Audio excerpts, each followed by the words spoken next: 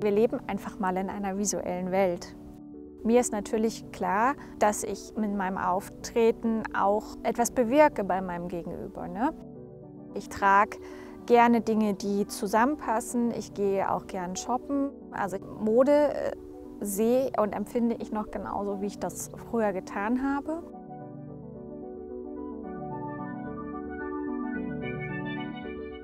Ich bin im Alter mit 27 ähm, erblindet. Also wo man jetzt so davon spricht, okay, es war keine visuelle Verarbeitung mehr da. Ich hatte kein Bild mehr, ich konnte die Menschen vor mir nicht mehr in Umrissen oder sonst irgendwas erkennen, musste mich also komplett auf alle anderen Sinne verlassen können.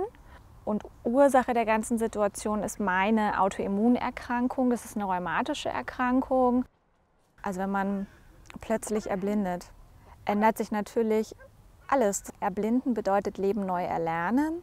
Ich musste ja überhaupt erst mal überlegen, wie komme ich denn jetzt von meinem Zuhause zu meiner Uni? Wie finde ich überhaupt in der Bahn einen Sitzplatz? Wie, wie organisiere ich denn meinen Haushalt? Sitz.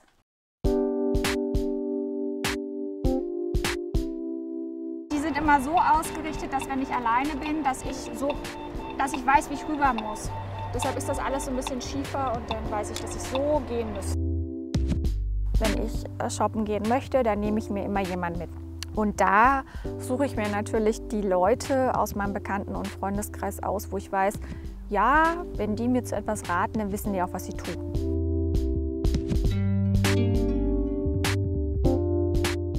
Also grundsätzlich ist mir wichtig, dass das, was ich anhabe, dass mir das passt, sodass ich mich wohlfühle. Soll aber trotzdem schick aussehen. Also das muss sich für mich gut anfühlen. Eine Sache, die nur kratzt auf der Haut oder die mir ein kaltes Gefühl macht oder die mich irgendwie zurückzieht von den Schultern, würde mir nicht gefallen. Und ein Geruch ist insofern nur für mich abschreckend, wenn die Kleidung völlig überfärbt riecht.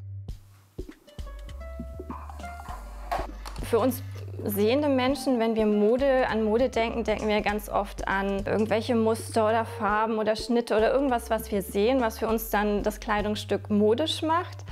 Und äh, für blinde Menschen sind das nochmal ganz andere Aspekte, die da zum Tragen kommen. Also blinde Menschen können das Kleidungsstück ja nicht sehen, aber sie können es zum Beispiel fühlen und sie können es hören. Das heißt, ähm, es sind äh, oft auch so Aspekte, dass irgendwelche Nähte oder irgendwelche Applikationen, die auf das Kleidungsstück aufgebracht sind, die für die blinden Menschen eben spannend sind und das dann als Mode ausmachen.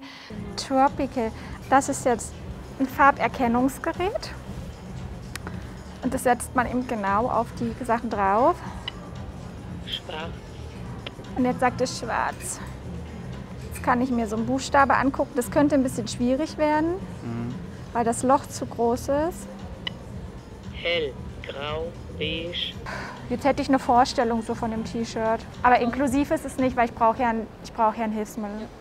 Also ich würde wirklich einfach mal sagen, dass für blinde Menschen der Zugang zur Mode oder auch der Zugang zu der Inspiration zur Mode, der fehlt. Dieser komplett selbstständige Zugang, den gibt es nicht. Das ist eine Bluse, die ist hinten ein bisschen transparent. Ja. Mit ganz viel Spitze. Ja. Ich weiß aber nicht, ob du das magst, wenn du so, so tiefer ausgeschnitten hast.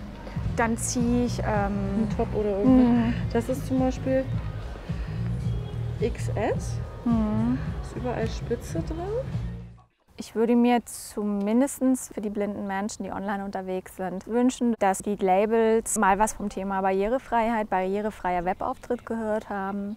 Dass man halt, wenn man ein Bild einstellt und keinen Alternativtext hinterlegt, dann wird dem blinden Menschen nur suggeriert, dass da ein Bild ist. Aber was da drauf ist, weiß man nicht. So, da sind jetzt mal wieder Registerkarten, die sind nicht beschrieben. Da weiß ich nicht, was da drauf steht. Wenn blinde Menschen Mode einkaufen gehen, wissen sie zum Beispiel gar nicht, was das für eine Größe ist, was das für eine Farbe ist, was das für ein Material hat und sind praktisch immer auf Hilfe angewiesen, sind immer darauf angewiesen, dass andere Menschen ihnen das sagen und auch, dass andere Menschen ihnen sagen, steht mir das denn oder sieht das gut aus an mir und sind da so ein bisschen unselbstständig, ähm, weil sie es eben nicht selbst sehen können.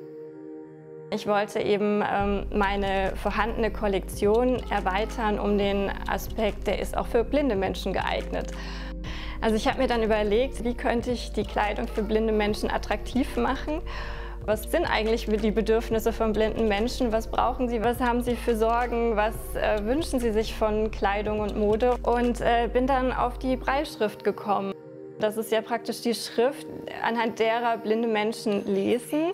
Die besteht aus verschiedenen Punkten. Und dann habe ich mir überlegt, dass man das ja auch sehr gut auf Kleidung umsetzen könnte, indem man zum Beispiel Perlen nimmt und die auf die Kleidung draufstickt und konnte dadurch dann eben äh, diese ganzen verschiedenen ähm, Hinweise geben, zum Beispiel welche Größe hat das Kleidungsstück, welche Farbe hat es, wie äh, kann ich es waschen, zu welchen anderen Kleidungsstücken kann ich es kombinieren, zu welchen Farben Farben passt es. Also einfach so eine Hilfestellung zu geben, dass man da so eine gewisse Selbstständigkeit hat.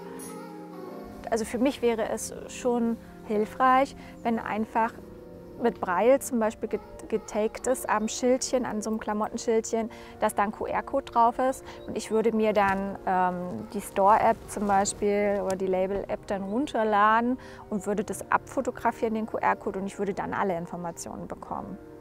Auch hier könnten sich ja so Generalismen entwickeln, die mir einfach den kompletten Zugang zum Kleidungsstück eröffnen könnten.